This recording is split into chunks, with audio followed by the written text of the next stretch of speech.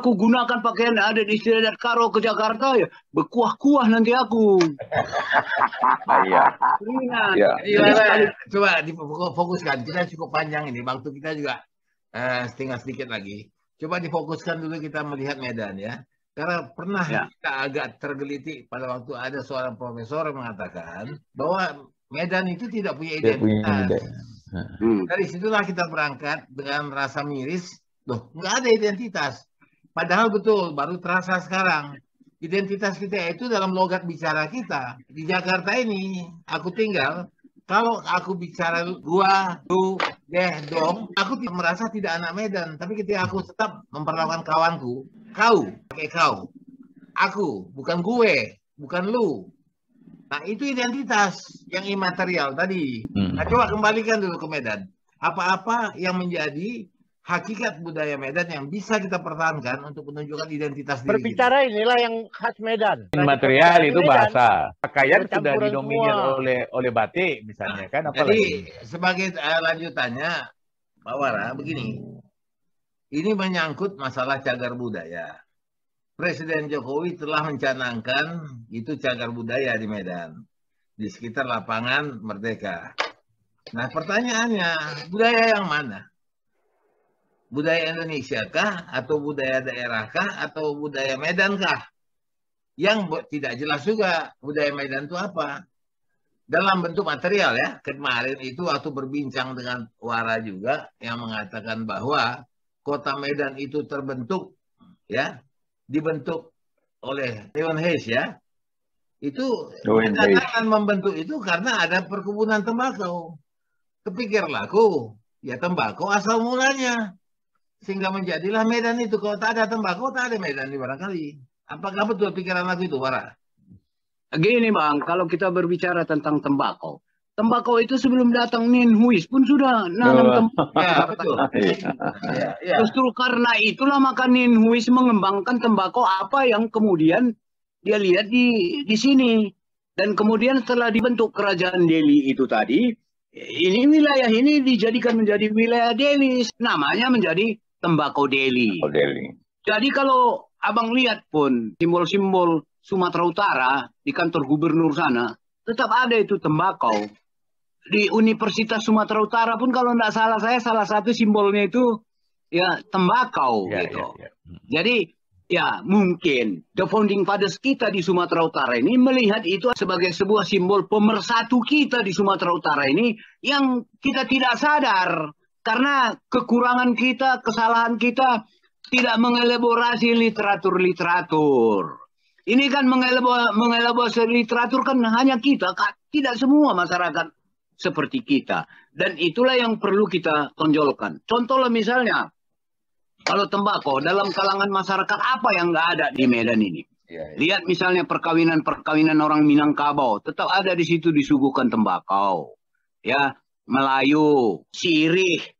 Nah, itu kan universal itu. Itu salah satu simbol.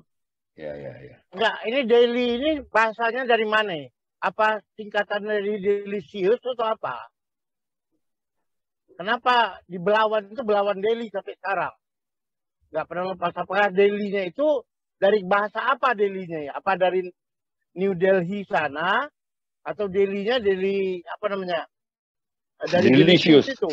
Nah, itu yang Nah, itu agak- itu mesti itu mesti jauh lagi kita lacak. Kalau Hmm. kita lihat bagaimana Hmm. terbentuknya kerajaan Delhi ini, ini kan Hmm. kalau kita lihat tokoh pendiri kerajaan pertama kerajaan Delhi ini itu kan orang Kota pahlawan. utusan kota pahlawan utusan Raja Aceh yang kemudian untuk memperkuat eksistensinya dikawini ya salah satu anak kedatukan yang kuat kedudukannya di daerah ini. Iya, karena karena Itu bininya di Aceh sih kawin Sultan Aceh.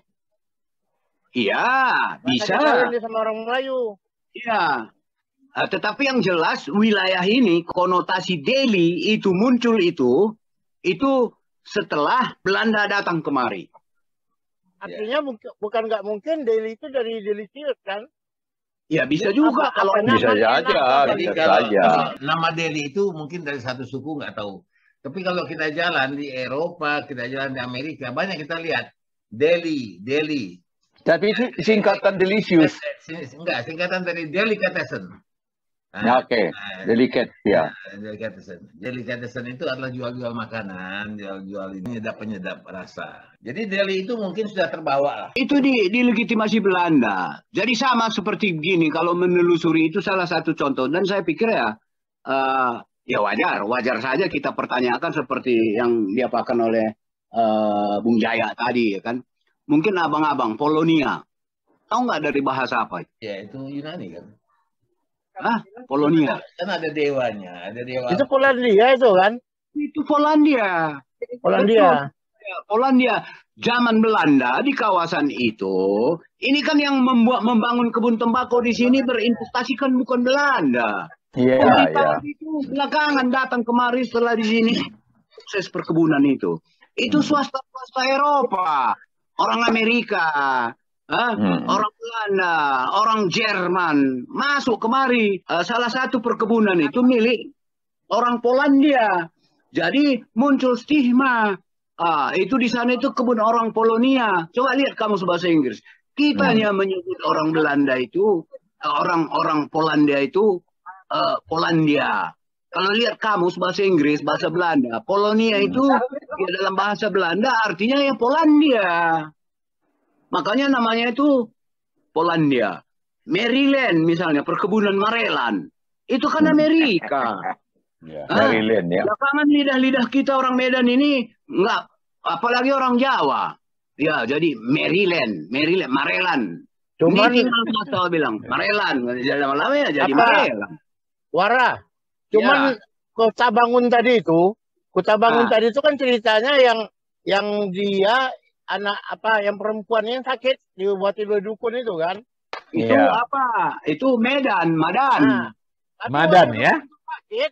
Nah, waktu itu dukun itu sakit, tanya orang mana Pak Dukun? Ah, tok tok lagi nungap. Ah, tok nungap, tok nungap. Orang Medan ini kan terbiasa dengan bahasa terbalik. Atau nunggak, oh kota bangun kata orang tuh. Gitu makanya nama kota bangun sekarang. Ah, Kota Bangun, Datuk Kota Bangun. Karena Atok itu sakit. Nah mana Atok tuh? Ah, Atok lagi nunggap tuh. Deh. Jadi Maka nunggap itu kan asli Medan tuh. Ya, ya, Bahasa jadi ya kan. secara morfologis ya, tapi kalau diurut ke belakang lagi, itu kan dari nama dewa. Polonia, ada, ada dewa Yunani yang namanya Apollonia.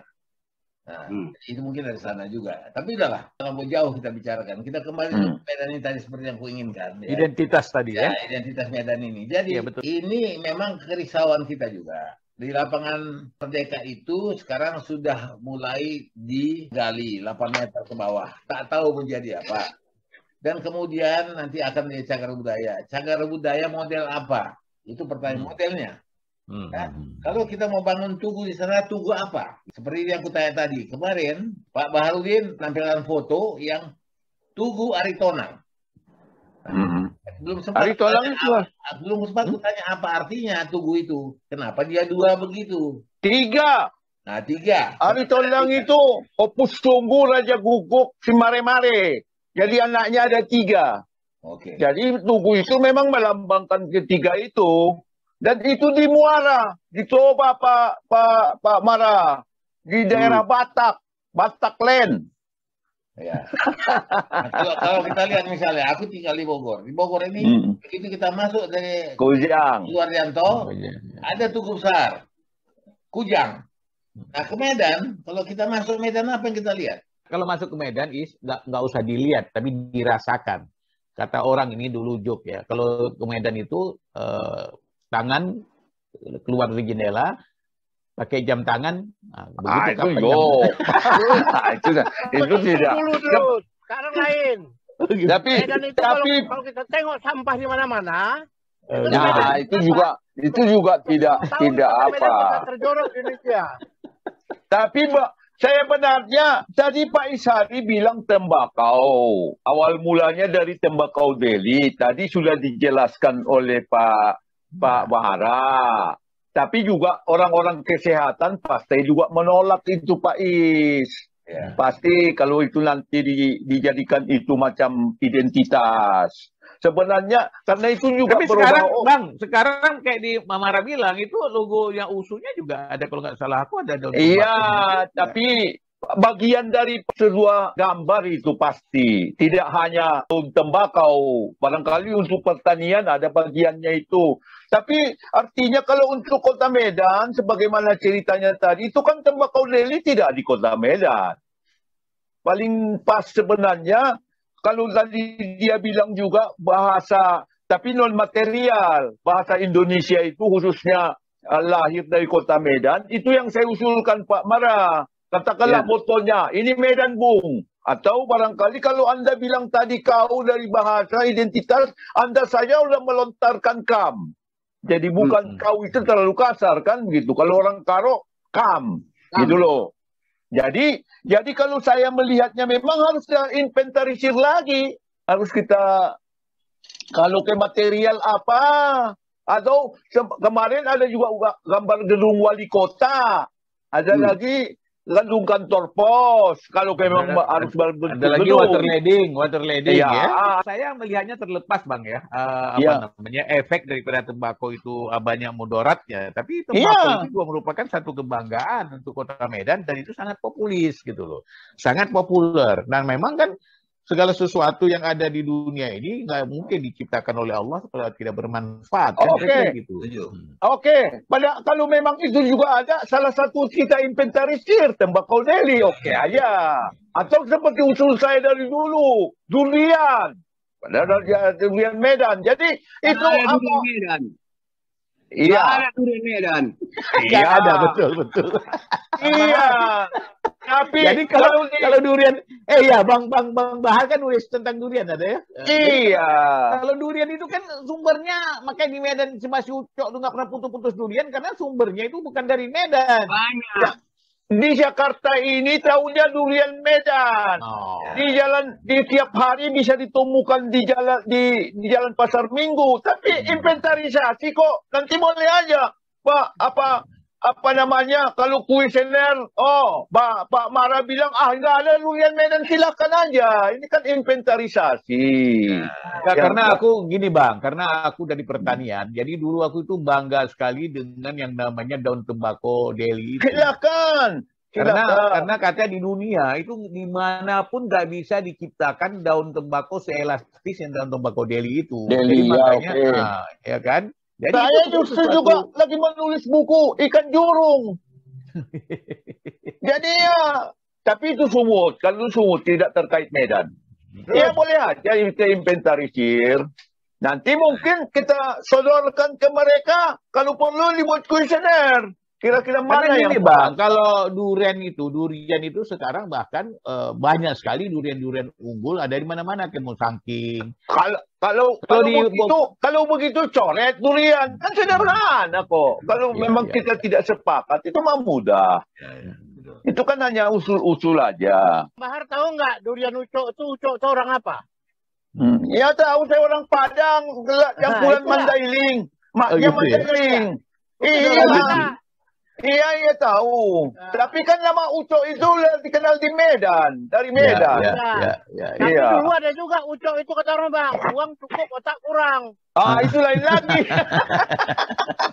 Kalau yang negatif janganlah. Eh, Ya, Ya, ya. sebenarnya kalau memang Nanti iya bu, bahasa butet, itu, butet, butet juga ada ya kan, butet eh, ya. bisa juga, bisa. uang tetap tolol. Apalagi, Pak kira-kira Pak Mara. Kalau memang bahasa, kau itu paling khas orang Medan. Ah, boleh inventarisir Kau aja. itu adalah kota kotamu amat unik. Nah, itulah singkatannya. Eh, aku Boleh. mau tanya Jai, itu kalau Ah. awak itu bahasa Medan atau bahasa Padang? Oh enggak, bahasa baru tuh Medan tuh. Enggak, awak, awak. tuh awak. awak. Ah, Kalau Medan Karena kalau di kau, Padang, kau, kalau- itu dia. Oh gitu. Kalau aku dan suka, aku. Kalau udah kalau aku itu suka bahasanya ngomongnya agak agak ke Hmm. Mandailing, agak ke Sebolga, agak ke awak itu lah. ya.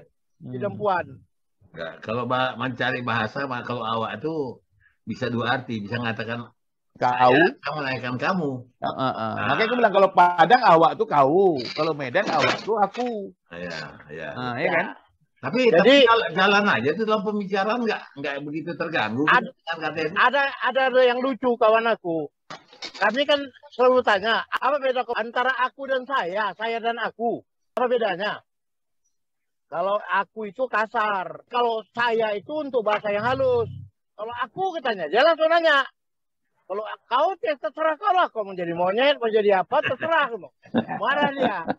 Aku rasa bahasa itu penting lah. Ya, coba perhatikanlah ya. Penyebutan kau dan aku oleh anak Medan itu berbeda dengan orang yang ada di Jawa bicara aku dan kau. Betul, betul. Beda.